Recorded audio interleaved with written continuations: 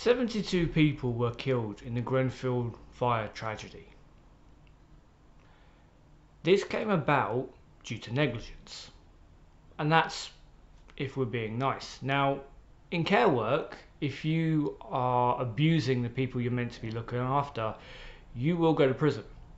If you neglect them, you get a much harsher sentence.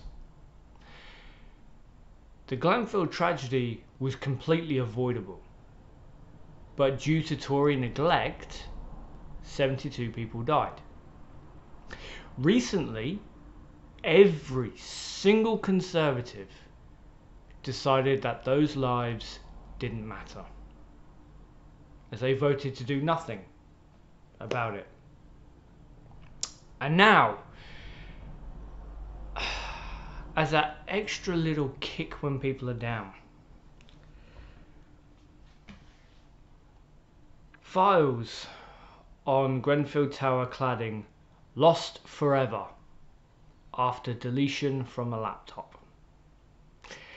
Now this is um, written in Vox, I'll link it down below. But, um, Jesus.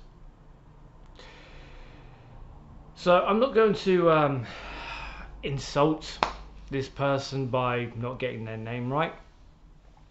Uh, but the design manager who worked for cladding specialist Harley or Harley Facades until March 2016 told the hearing he erased his work computer of all files after agreeing to keep the device despite leaving the firm.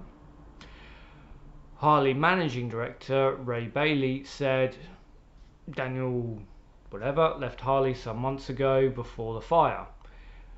But at that stage he had both deleted all of his Harley related emails from his laptop and had arranged with our service provider to remove his email file from our system.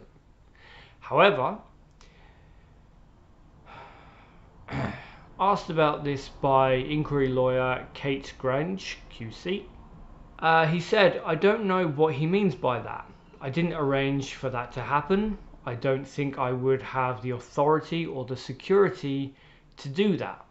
Now, again, I'll, I will link this down below. But essentially, what this is now said, uh, the, the final line is this, is a former employee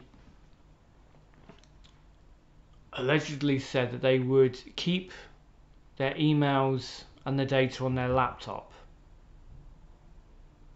even when they don't work for the company. Now that's an issue. That is a big issue.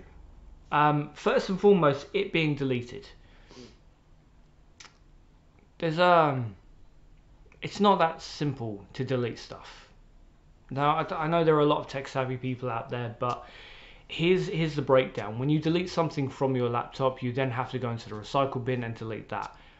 But that doesn't mean it's gone forever. If you want to make sure the thing's gone forever, you need to completely wipe your laptop. And someone who's very tech savvy will be able to recover a lot of the data that's been deleted. When it comes to a server, again, this is not something he has as, as an employee. He wouldn't have the authority to do unless he ran the entire thing, which again he wouldn't have the authority to do because he left the company in 2016. This is a bullshit excuse. This is a bullshit excuse that has been given when the government and the government's biggest party, Parliament's biggest party, have all said, we don't care. 72 people died in that tragedy. And it wasn't just because of cladding. The sprinkler system didn't work. There were a number of issues. It was negligence.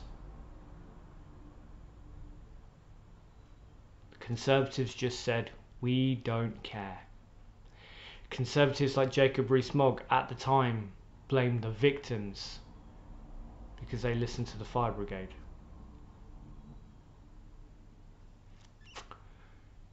This is possibly one of the most disgusting things that could happen from a tragedy like this. Let's stop pretending that the Conservatives care.